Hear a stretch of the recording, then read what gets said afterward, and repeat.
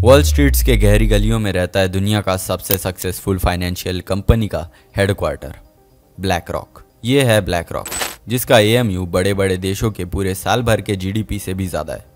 जहाँ पर इंडिया, पाकिस्तान, बांग्लादेश, श्रीलंका के जीडीपी को मिला भी अगर दिया जाए तो भी जाकर इतना पैसा नहीं होता है। जितना पैसा सिर्फ़ एक प्राइवेट कंपनी ने एसेट्स के ज़रिए इन्वेस्ट कर रखा है, करीब आठ ट्रिलियन डॉलर से भी ज़्यादा।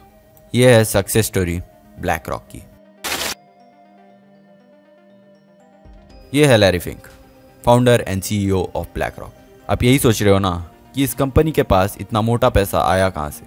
ब्लैक रॉक बेसिकली एक एसेट मैनेजमेंट सिस्टम का काम करता है। अभी आप ये सोच रहे होगे कि एसेट मैनेजमेंट सिस्टम क्या होता है?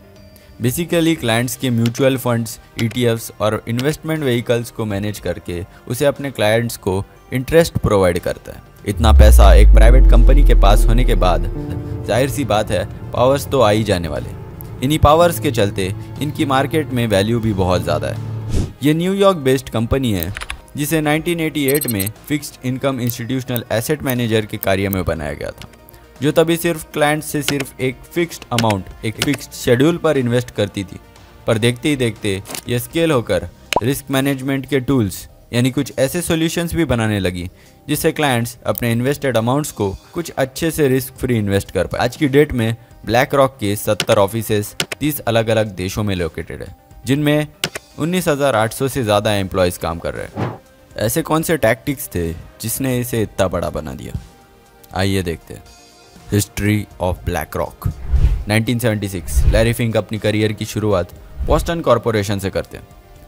जिसमें वो जल्दी मॉर्टेज और रियल इस्टेट डिवीज़न के हेड बन जाते। पर जैसे जैसे साल गुजरते, वैसे उनकी और सीनियर्स के बिज़नेस विजन्स की टकराव होती है। 1986 साल का सेकेंड क्वार्टर। लैरी फिंक के दिन में सब कुछ अच्छा चल रहा था। लैरी फिंक को कॉन्फिडेंट और कंट्रोल फील हो रहा था। पर तभी अचानक एक न्यूज़ आती है कि बॉस्टन ने टेक्निकल खराबी के चलते 100 मिलियन डॉलर्स का लॉस कर दिया है।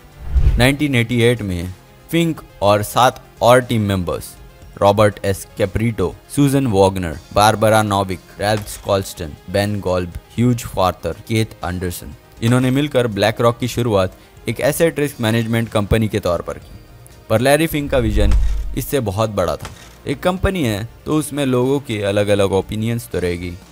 स्टीफन ए शॉजमन ये दोनों कंपनी के को फाउंडर थे, जिनका डिसीज़न मेकिंग बॉडी में बहुत इंपॉर्टेंट रोल होता है। फिंग कह रहे थे कि वो बैंक से टैलेंटेड लोगों को अट्रैक्ट करने के लिए नए हायर्स को इक्विटी देना चाहते, जबकि शॉजमन लैकस्टोन के स्टेक्स को और कम नहीं करना चाहते थे। इसी बहा भीड़ में दोनों फाउंडर्स को अलग अलग होने पर मजबूर कर दिया, जिसके बाद इसी चीज़ को नकारते हुए शॉजमन ने अपने ब्लैक रॉक्स में से स्टेक्स बेच दिए और कंपनी से बाहर निकल गए। और वहीं से शुरू होती है कंपनी की ग्रोथ की शुरुआत। ब्लैक रॉक ने अपने पहले 14 डॉलर के शेयर्स पब्लिक किए। जो किसी को भी अलाउ करता था, अपने कंपनी का कुछ हिस्सा खरीदने के लिए और देखते ही देखते ये कंपनी 1999 के अंत तक 165 बिलियन डॉलर्स के एसेट्स मैनेज कर रही थी। 165 बिलियन डॉलर आप यही सोच रहे होगे ना कि एक साल के अंदर इस कंपनी ने 165 बिलियन डॉलर्स लाए कहाँ से? दरअसल तभी ये कुछ कंपनीज़ जिनके साथ ब्लैक रॉक की डायरेक्ट कंपटीशन थी, जैसे स्टेट स्टील ग्लोबल एडविजन जिसे एस एस जी ए कहा था the Vanguard group Fidelity investments T Rowe price PIMCO Franklin Templeton investments Northern Trust दरअसल इन कंपनीज़ ने अपने कंपिटिटर्स को ही एक्वायर करना शुरू कर दिया। जिससे क्या हुआ कि दोनों की फ़ायदा हो रहा था। एक्वायर्ड कंपनी को ग्रो करने का और जल्दी नए मार्केट टेक्नोलॉजीज़ और टैलेंट से जुड़ने का मौका मिल रहा था। और ब्लैक रॉक को भी इन कंपनीज़ के फंड्स को इस्तेमाल करके अच्छा खासा रेवेन्यू जनरेट करते आ रहा था। 2010 में ब्लैक रॉक के एक फाउंडर रैल्स कॉल्स्टन इस कंपनी को दुनिया का मोस्ट इन्फ्लुएंशियल इंस्टीट्यूट करार देती है। अभी भले ही वो उनका पर्सपेक्टिव है, उसे दुनिया का मोस्ट इन्फ्लुएंशियल करार देने पर पर यह कुछ झूठ बात भी नहीं थी। बल्कि उसके अगले ही साल ब्लैक रॉक ने जेंजाइम जो एक बायोटेक्नोलॉजी सेक्टर का एक बहुत बड़ा कंपनी था, उसने उसे रिप्लेस करके एस एन पी इंडेक्स में अपनी जगह बना ली। एस एन पी इंडेक्स में जगह बनाना एक बहुत बड़ा मुकाम था। दरअसल S n P index America के लिए बैरोमीटर की तरह काम करता है, जैसे बैरोमीटर्स को वेदर कंडीशन को प्रिडिक्ट करने में इस्तेमाल किया जाता है। उसी तरह ये एस इंडेक्स भी काम करता है। वैसे ही इन्वेस्टर्स और ट्रेडर्स के लिए एस इंडेक्स अमेरिका के स्टॉक मार्केट को समझने के काम में आता है। और देखते ही देखते 2013 में ब्लैक रॉक को फॉर्चून लिस्ट के 50 सबसे एडमायर्ड कंपनीज़ के लिस्ट में शामिल कर दिया गया। आपको फॉर्चून लिस्ट नहीं पता होगी तो बता दूँ कि इस लिस्ट में दुनिया के 500 सबसे बड़े कंपनीज़ को दर्ज किया जाता है।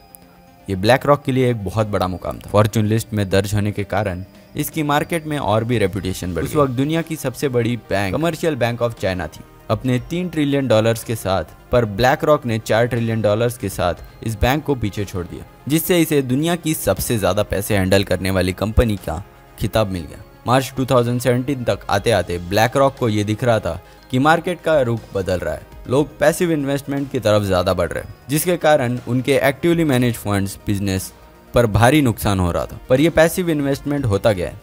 दरअसल पैसिव इन्वेस्टमेंट जो आप प्रॉपर्टी लेते हो और उसे लंबे समय तक वैसे ही छोड़ देते हो ना। उसे ही कहते हैं पैसिव इन्वेस्टमेंट और वही मार्केट में चल रहा था। इसी बढ़ते मार्केट को देखकर ब्लैक रॉक ने अपने बिज़नेस स्ट्रेटेजीज में बदलाव लाने की कोशिश की। इस नए मार्केट ट्रेंड में पुराने तौर तरीके काम नहीं आ रहे थे। इसी कारण ब्लैक रॉक से सात हाईली स्किल्ड पोर्टफोलियो मैनेजर्स को बाहर निकाल दिया गया, जिसके कारण कंपनी को 25 मिलियन डॉलर्स का नुकसान हो गया। पर इसी फाइनेंस के बढ़ते हुए मार्केट में बने रहने के लिए कई बार रिस्क लेना पड़ा, और ब्लैक रॉक के लिए ये रिस्क लेना कामयाब साबित इस ट्रांसफॉर्मेशन में नॉट ओनली फंड्स पर अपने यूरोपियन बिज़नेस में भी ब्लैक रॉक ने ट्रांसफॉर्मेशन लाने की कोशिश की। ये अपने पोर्टफोलियो को बदलना चाहते थे। इन्होंने C R H P L C और बैंक ऑफ़ आयरलैंड में भी अपने स्टेक्स को बढ़ा लिया। और 2017 तक आते आते आई शेयर्स जो ब्लैक रॉक की सब्सिडियरी कंपनी है, उसने 1.41 ट्रिलियन डॉलर्स की वैल्यूएशन क्रॉस कर ली थी, जो अकेले ही ब्लैक रॉक के टोटल वैल्यूएशन में 26 परसेंट का कंट्रीब्यूशन करती थी। अक्टूबर 13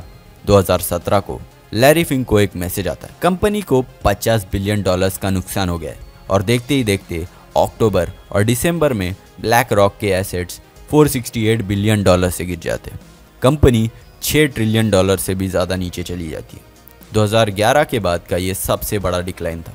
ये साल कंपनी के लिए बहुत ही खराब साबित हो रहा था। गिरते हुए एसेट प्राइजेस, इन्वेस्टर्स और क्लाइंट्स के साथ लगातार मीटिंग्स, और यही नहीं कंपनी को पर्यावरण खराब करने के लिए दोषी भी ठहराया जा रहा था। पर ऐसा क्यों?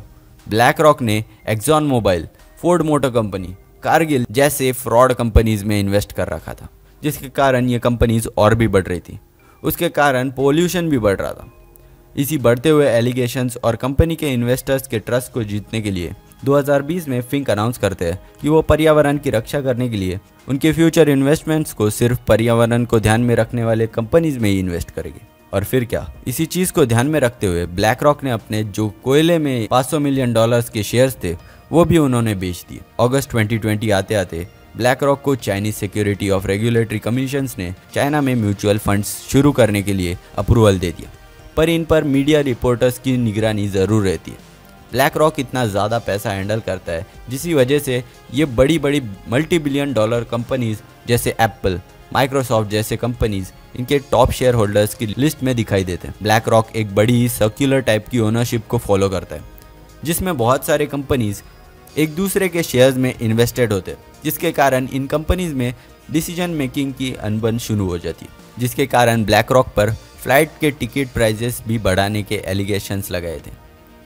जब भी एक बड़ी कंपनी दो कंपीटिंग कंपनीज़ में इन्वेस्ट करती है तो जो दो कंपनीज़ होती है, उनके बीच कंपटीशन कुछ हद तक कम हो जाती है। क्योंकि उन्हें पता है। इन्वेस्टर्स को भी तो खुश रखना होता है। पर इन एलिगेशंस और लॉसेस के बावजूद ब्लैक रॉक ने पीछे मुड़कर नहीं देखा। और आज ब्लैक रॉक आठ ट्रिलियन डॉलर से भी ज़्यादा की वैल्यूएशन रखता है। ये थी ब्लैक रॉक की सक्सेस स्टोरी तो गाइज़ आपको कैसी लगी ये ब्लैक रॉक की सक्सेस स्टोरी हमें कमेंट्स में ज़रूर बताना। और ऐसी ही नई टॉपिक्स पे वीडियोस देखने के लिए इस चैनल को सब्सक्राइब भी कर देना। तब तक के लिए बाय बाय